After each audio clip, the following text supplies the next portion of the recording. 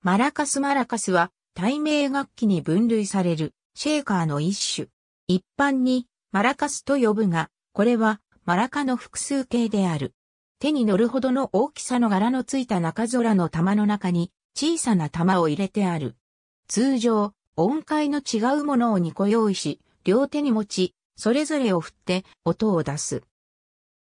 主にマンボやサルサなど、スペイン語圏のラテン音楽で使われる。なお、よく誤解されるがポルトガル語圏であるブラジルのサンバでは、ほとんど使用されることはない。玉を玉の中に入れず、外に巻きつけたカバサは類似の楽器である。シャッと、一つだけ音を出すためには、以下の奏法が有効である。また円を描くように振り回すことで、連続的なノイズが得られる。この奏法は、アルバンベルクが好んで用い、後に、ピエール・ブーレーズや野平一郎が追随している。現代音楽の打楽器アンサンブルで、ティンパニやコンガなどの幕室打楽器をマラカスで打撃するという奏法がある。元来は、ヤシ科のマラカの実を乾燥させて作る。現在では、木製のもの、また、合成樹脂製のものが多い。合成樹脂製のものは、音質は踊ることがあるが、丈夫で安価である。そのためカラオケ店などに置いてあることがある。中程度のサイズのマラカスが、ガラチャ、ボレロ、ソン、ルンバなど、キューバ生まれのすべての音楽で使われる。これらのキューバ音楽で使われたことから、サルサでもマラカスが使われるようになった。タバラという植物の実に、カパチョもしくはエスプーマでサポと呼ばれる種を入れたマラカスが用いられる。オリノコ川流域に住んでいた原住民族による儀式で用いられた楽器が起源とされる。この風習はスペイン人の到来の遥か昔から存在したとされる。現代のように両手で演奏するものではなく、片手で演奏するものであった。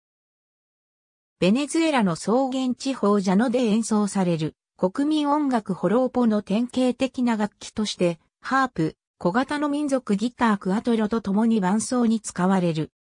また、草原地方に限らず、各地方の民衆音楽の伴奏楽器として用いられる1948年に草原地方ジャノより発見され、都市に本格的なホローポーをもたらしたハープ奏者インディオ、フィゲーレドの録音の際には、歌手デルフィン・クルコがマラカスを奏者を務めた。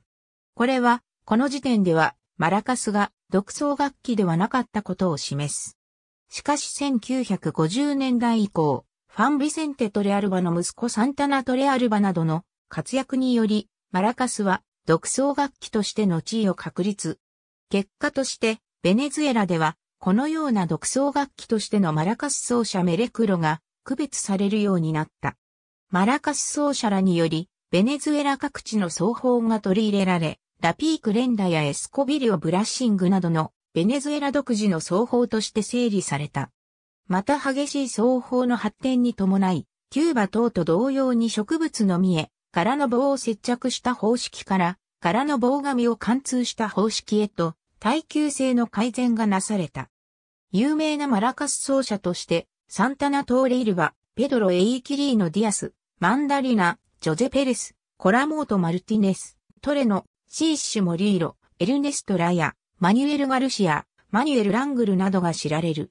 従来、各奏者がマラカスを制作していたが、奏法の発展とともに、専門の制作家も増えていった。